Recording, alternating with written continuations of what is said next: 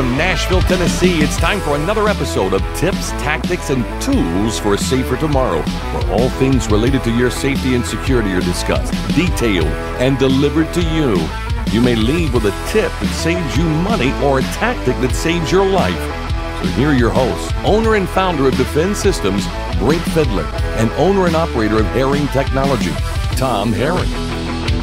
Hey, everybody, welcome to this edition of Tips, Tactics, and Tools for a Safer Tomorrow. My name is Brink Fidler, owner and founder of Defend Systems. With me, as always, my co host and founder of this podcast, Tom the Man Herring, owner and operator of Herring Technology, the best security technology firm on the planet, in my opinion. Uh, I might be a little biased, but but I like it. Yeah, good. Yeah, it's a good well, bias. It is a good bias. Um, you know, there's in the world of safety and security, there's never really a shortage of stuff to discuss or look at or investigate or explore. But especially in the times we're living in right now, um, with all the civil unrest, um, the defund the police movement, uh, just the anarchists, the the statues being toppled, uh, crime going through the roof, police officers being as far from motivated as you can be and it so it brings up a lot of um, you know interesting points and and explorations that uh, a lot of homeowners are are starting to look at, uh, and they should. Um, from a how do I protect myself standpoint, and what we're seeing.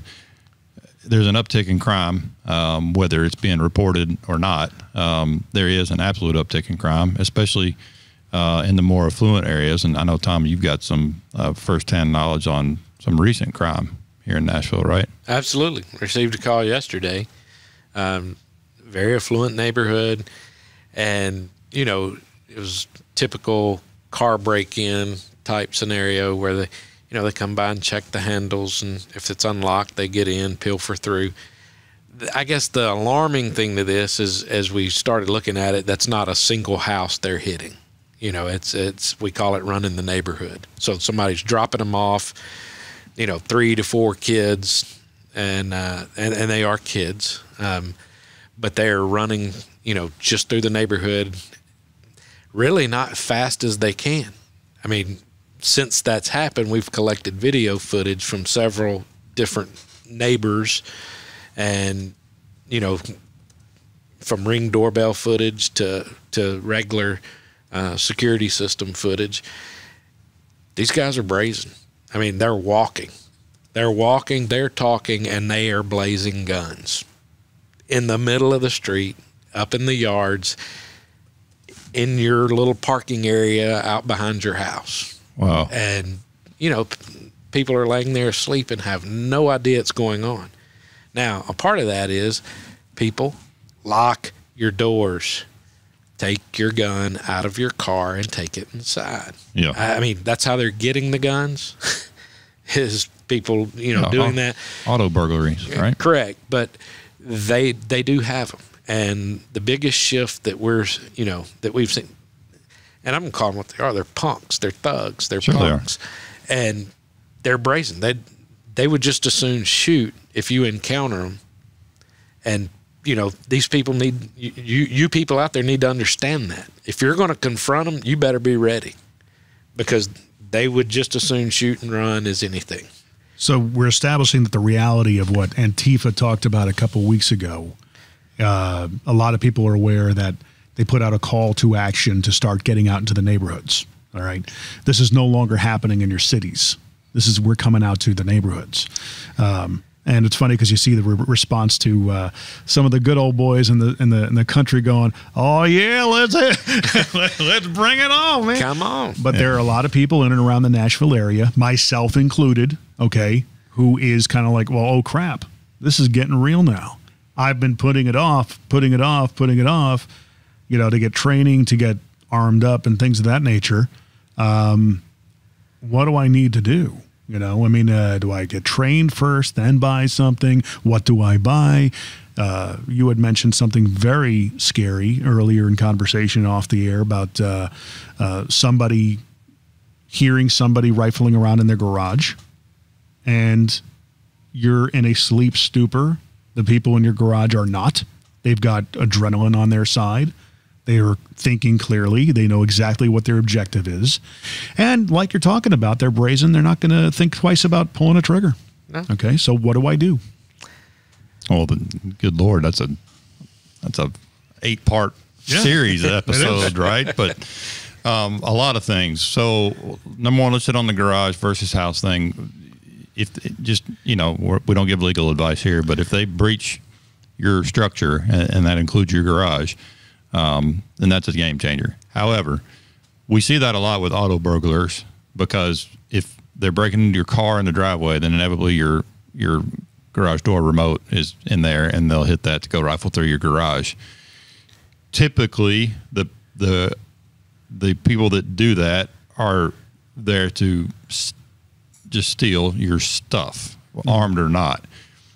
If they enter your actual home, it, uh, from a legal standpoint, it's not any difference, right? I mean, if they if they breach your structure, they're in your structure. But if they enter your home, then they are there to do far more than steal your stuff because they know somebody's home. All right, there's a big difference between most regular burglars um, hit houses between eight and five, right?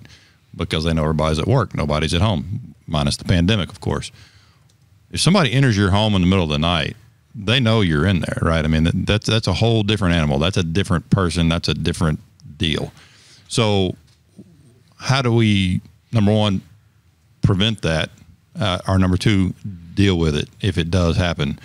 Well, you know, I, I teach an acronym for def- defend when we do our active shooter training, and the D in defend is deter, right? We want to stop it, and that same thing goes here.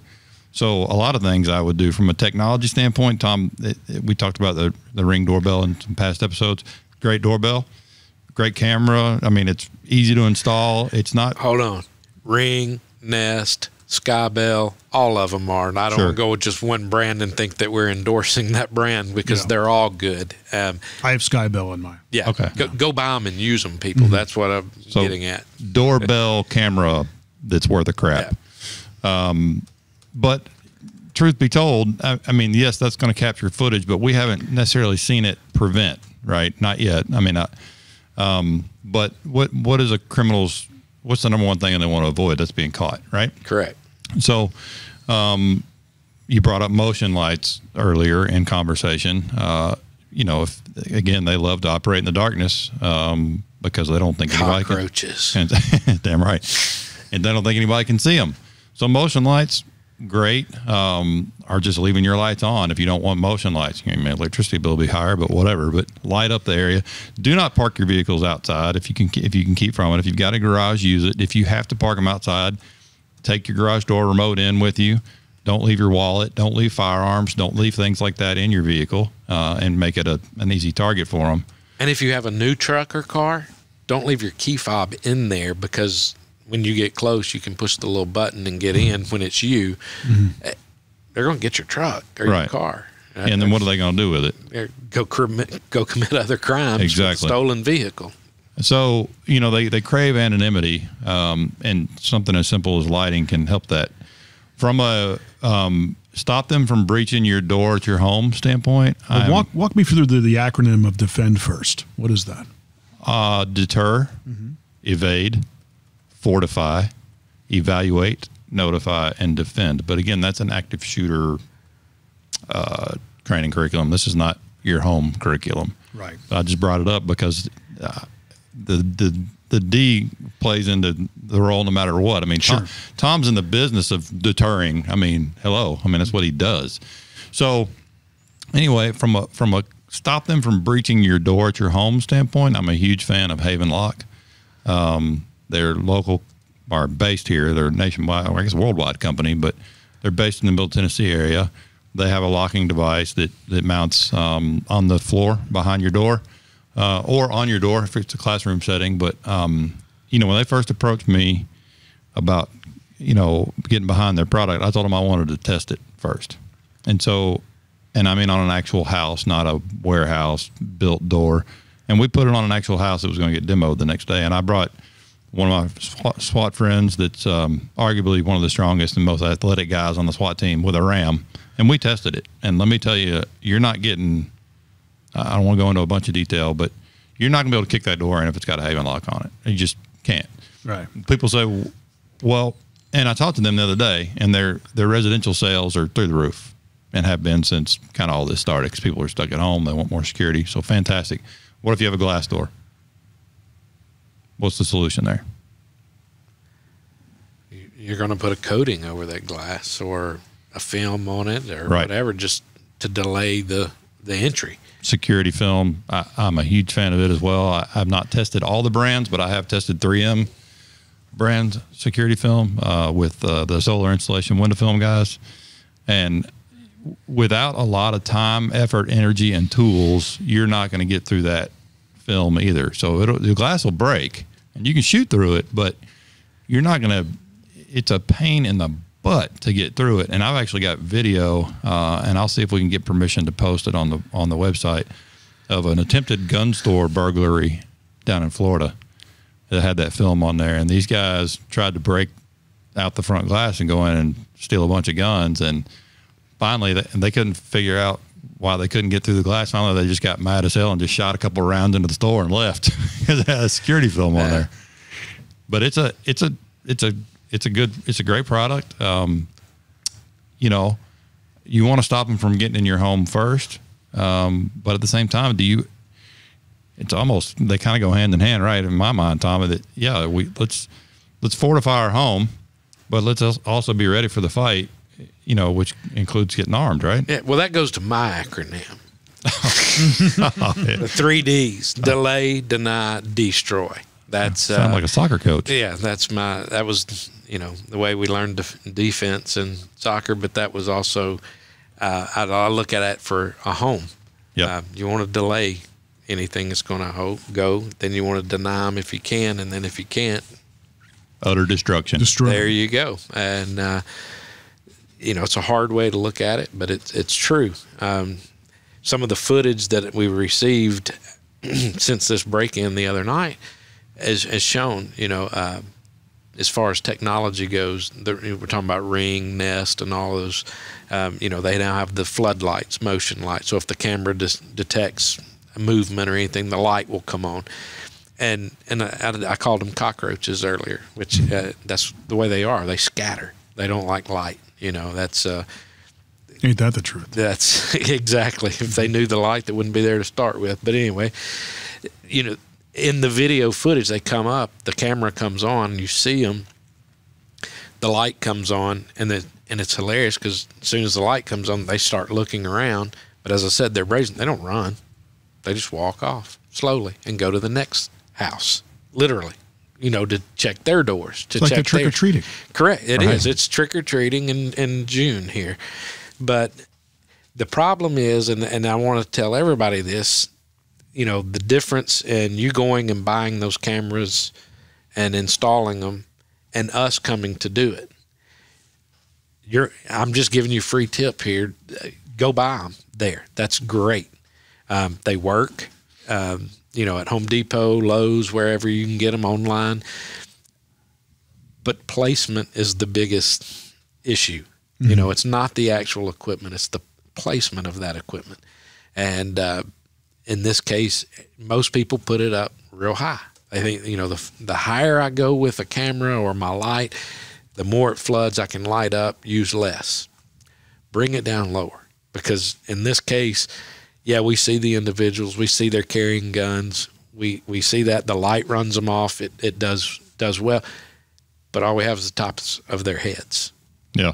Bring those down. That's why the ring doorbell at your door is so good, is because it's low and it always gets that identification in the face, unless your communist mayor makes you wear a mask right now. That's, Again, we're back to your communist mayor. yeah. Okay, so we've uh, we've we've find ways to deter and I guess fortify our home domicile, our our castle, right? Yep. So those are the first steps you would do. Look into. I'd almost do it. I mean, again, I'm not. Um, just because you fortify your home doesn't mean you're not going to get a pistol shoved in your face when you go to get in your vehicle in the morning to go to work Right. and get carjacked. So, I, to me, it's not a, you know, what to do first. I, I would do it all. I mean, I, I mean, we'll get into the firearm stuff here in a second, but, um, you know, you want to to yeah fortify your home, right? Make it make it a difficult target. I mean, like you know, like make them. I mean, it's how bad as it sounds. Make them choose the neighbor's house over yours. I mean, I'm sorry, but that's just the way it is. Well, one of the things eh, we, we keep talking about light, Yep. and and that to me it's a it's a huge defense. Um, and I, these are the things I had actually talked with the homeowner on when I went over, went through the house, went through the yard, everything you know of things that you can can take a look at. Landscape lighting, and people take that so for granted. You know, it's it's expensive. It's low voltage. Well, number one, it, it's makes your house very aesthetically pleasing at night. Yep. When you drive by it, it looks nice. It's not stating, you know, you don't have big floodlights on the side so it looks like a prison yard. but what people do not understand is what that light does. If it's between your fly, uh, your bushes, your your landscaping and the house wall, you can't tuck down behind there and not cast a shadow up on the wall. So anybody driving by it looks like a, you know, the shadow puppet show going on on Yeah, the yeah, side of your house. There's, you know, it has a reason for that. It, it is it is nice looking, um, and that's one of the things. You, you know, they don't like the light. Don't let them hide. Trim those shrubs. Bring them down. You know, that's that's huge. You you don't want to create a hiding spot. It's just as you mentioned, coming out in the morning. You know, people aren't awake in the mornings. Uh, you know, they're uh, or even if they are awake, they have ten thousand things on their mind. Yep. You know, I'm running out the back door. I have my cell phone in one hand because I have business calls I have to make. I have the trash in the other hand because the garbage truck's going to run in the next four minutes and I'm not going to make it. So my mind is on that. Well, guess what? Both my hands are occupied. My mind is elsewhere. And I have landscaping that provides the ultimate cover for anybody that has sat there and waited on me to come out. Yep. Okay, if you're the male leaving for the morning, we'll get, go that way to go to work, and your kids and your wife are inside, and you walk out like that, and they have a hiding place. Guess what else you have? You have a key to get back in the house. So you just, you know, Yep. and and everybody understands that. You know, to Jim's point, he's normal homeowner that is Yeah. living. The, you're going through life. You're. It's not on your mind. I'm Absolutely on guard every second. Yep. Yeah, you know, or you're running out the door explaining to your boss why you're why you're you're not late that you're stuck in traffic, but really you hadn't even gotten in your car, but you're on the phone not paying attention right then. Right. That's uh Well, how many people? I do this just out of habit. But how many people, when they pull out of their garage and hit the close button, actually watch the door get closed all the way? correct. If I'm if I'm um leaving the house alone, I do. But if there's somebody in the house, I just typically drive off. Yeah. This morning, I got I left the house. I leave the front door unlocked when I leave. Okay, Stop doing that. I should. I know, By the way. but I mean, you know, what's a And good? Jim's address is. I'm. Is there a uh, deadbolt lock that you would recommend? I mean, other than the con- conventional key, uh, do you believe in the biometrics or the code type of locks?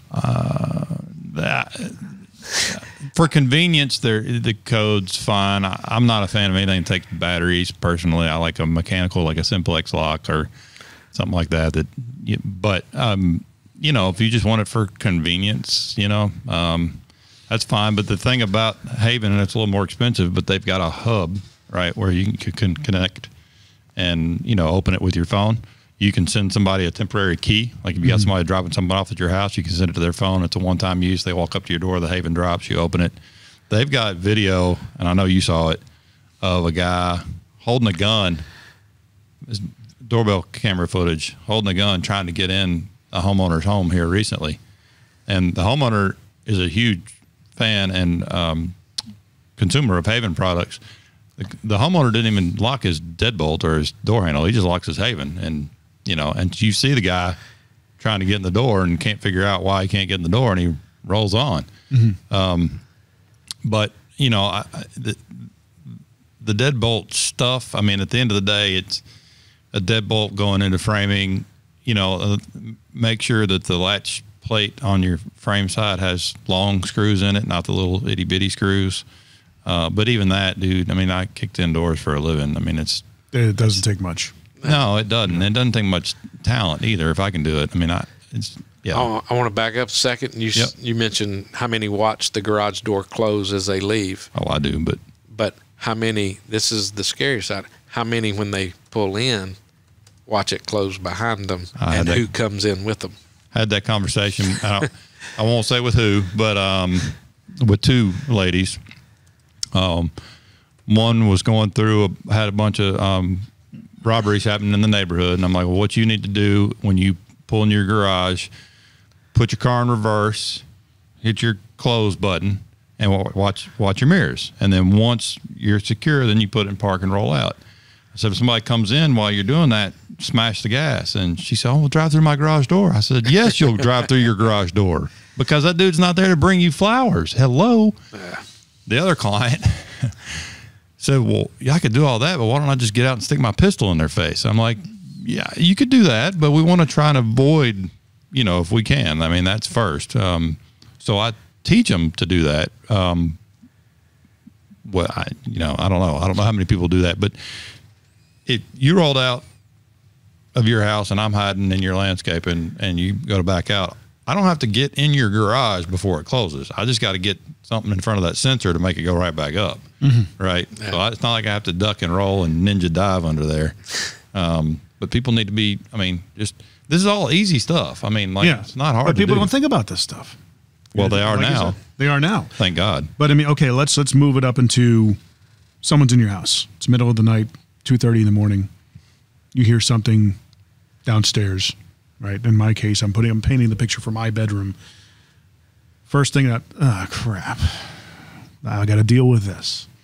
What do I do? What's the first thing I do? Well, when you he- le- le- obviously you've probably heard something in your house at Yeah. night before. So as just you know the common citizen that's there, what's your first thought when you do hear something in your house? Oh crap, I got to go deal with this. The hell am I going to do? Do That's- you or do you think, man, what fell over? Or do you think somebody's in my house? Well, I mean, if I think you can discern by the noise that you know once you get to the point that you realize somebody's in your house, it's terrifying. Well, real quick, what you one thing you should do if you have an intrusion system on your house, which you should, a, a burglar alarm.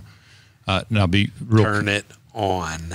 right on instant arm, right, not a delay. So when you go to bed, if somebody breaches a door, it goes off instantly, right? That every alarm system has that feature. Most people don't use it. It's very helpful that, to know that a door or window has been breached in the middle of the night, and it's not the cat knocked something Yeah. over down there. Right? Let me describe this too, because yesterday I was going over this with the homeowner, and she was a little confused on what I meant by it. Yeah. Uh, when you get an alarm system, depending on who you get it from, it's going to have entry doors. You know, some doors and some windows will automatically go straight to the alarm going off, not the beeping at the keypad. yeah, not the delay. right? Correct. That's a Yeah. delay. That's not your alarm going off. Yes, it goes off instantly, but the door you enter the most is going to have a delay on it if it is set in away mode, meaning no one's there. So when you come in, that's where it starts beeping and gives you the 30 seconds, no more than 30 seconds chance to get to the alarm panel and turn it off. These are things that you should be discussing with your security company when they do put in the alarm is how long is that delay? You know, some people have a minute, some have two minutes. Well, I've got my groceries. I've got, you know, the kitty cat runs in and out, and then the alarm goes off, and then they call and they ask me for that stupid code that no one can remember ever, and then they have to call the police. Okay. Get real and do your business. You know, go in 30 seconds at the most for the delay in away mode. Just because it starts beeping doesn't mean your alarm's going off. It's not. That's the delay. So when Brink talks about the instant arm, which is in stay mode, you're there. So no one's coming in. You know, you don't have the teenage, you're not setting the alarm, and then the teenager's going to get home at midnight after your two hours of sleep. You don't want to do that. That would still be, you know, you have to work those parameters out with your own family. But when it is marked in a way, it's instant alarm on all locations, meaning any breach, the siren is going off, not the beeping at the keypad. And like you said, a lot of people don't know that. That feature's always there. You want that because that's, you know, going to notify you that something has breached your perimeter Yep. in your house at night. It's going to startle them as well as you. So, Well, it puts them on notice that you're on notice. correct. Everybody's on a more level playing ground now uh, rather than the creep sneaking around in your house and you're dead asleep. And when you are awoken, then now you're not on a level playing field. This levels that. Have both of y'all? I'm sure. I think most uh, people in America have had their smoke alarm go off in the middle of the night. Yeah. Yeah, I mean, it, it wakes you up pretty quick. I mean, you know, yeah, you're a little groggy, but it's not like, oh, what's that? I mean, it's Yeah. it's pretty much instant. Oh crap, get my crap together. Um, so again, back to your triple D's, you know, delay or deny. Um, that's what we're trying to do. But in, in this stage, now we move to destroy, and t- Correct. You need to be able to obviously handle that. But so if if you're in your home, your bedroom, like you said, Jim, and you hear something, let's say it's breached.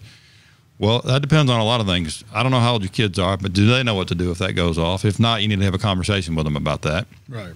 Um, I like creating safe closets for clients. Um, a lot of bedroom closet doors you can, and of course, if you're building a house, you can do this from the beginning. But make have the closet door swing out right towards you. Don't be an in-swing door. Swing out towards you, and add a deadbolt to it. Okay, so what can you not do to a door that swings towards you? You can't kick it in, mm-hmm. right? I mean, it's you just can't. So you know, if you got that, got that in your kids' rooms, they know to instantly go in there, get under their bed, whatever it is, right? But but talk to your kids about what that looks like. I have a client, and I had to have this conversation with her who said, "Well, if something happens in the middle of the night, I'm going to go get my kids." And I'm like, "No, we're going to teach your kids what to do, and you're going to go hunting." I mean, no, because you're just exposing yourself and bringing whatever's in your home towards your kids, right? So, um, ha- having the ability to turn lights on, you know, unless you train in low light and all that kind of stuff, um, it levels the playing field a little bit. If you kick your lights on while you're clearing your house, otherwise, how are you seeing? And again, if you train with a weapon light, like my house, I'm not turning the lights on. I'm I'm hunting you in the dark, but I train that way. I mean, that's you know, uh, there's there's some difference differences there. But what are you going after them with? A baseball bat or a firearm, right? And of course, firearms. You know that that I guess we can get into that. I mean, there's there's a couple of things that are universal um, communication devices, if you will. One is a laser.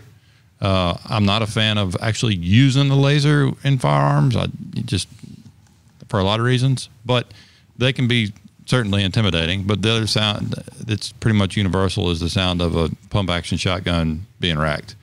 And it's also a very devastating weapon, a 12 gauge, even a 20 gauge um, shotgun at any range within a home is going to be really, really devastating. I mean, prior to us running rifles, that's what we ran for work, right? So as a point guy before we had rifles, I ran an 870 shotgun as my most offensive weapon takes a little bit of training, not a ton, a little bit. Um, you need to be familiar with the weapon system and how to manipulate it under stress, and um, practice getting your safety off and on, and all that kind of stuff.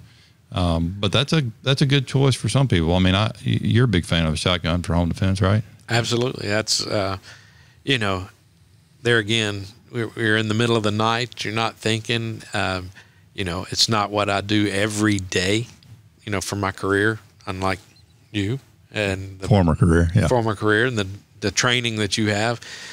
You know, my target went from a softball to a, a beach ball, you know, that I have to hit Depends while I'm on the staggered. range. Yeah, depending on the range. But if I'm that close, I also have something to push them off with a little bit more. Uh, I, I do, you know, people laugh. I have a laser on my shotgun.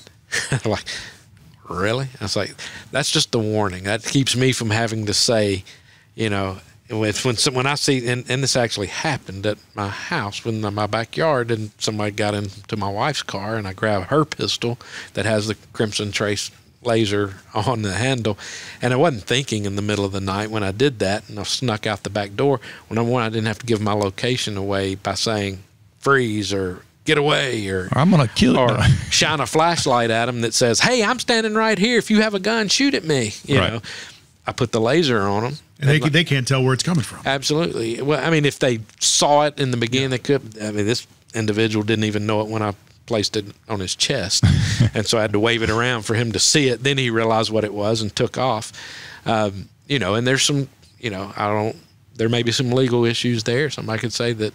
You know, by me putting the laser on that that created a a threat to him. So if he had a, I don't know. Don't care. It will let, yeah.